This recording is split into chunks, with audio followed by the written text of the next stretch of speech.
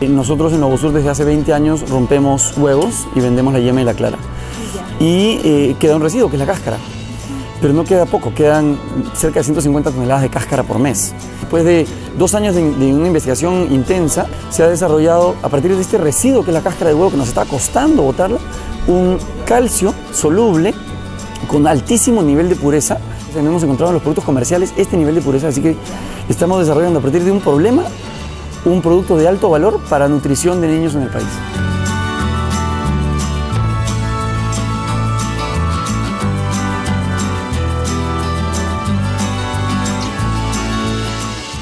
Esto no se va a dar de la noche a la mañana porque tenemos que desarrollar la industria. Se ha hecho a nivel laboratorio, luego se ha escalado a nivel piloto con, el apoyo de Innovate Perú. Y lo, que, lo siguiente que toca, ya esto le toca a la industria, invertir en ya una planta de producción industrial para convertir esto que está en escala piloto en una realidad.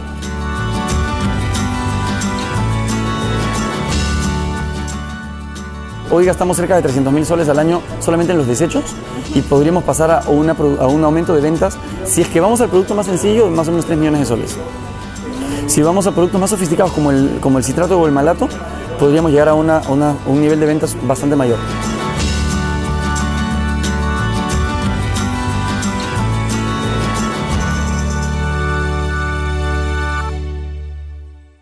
Gobierno del Perú, trabajando para todos los peruanos.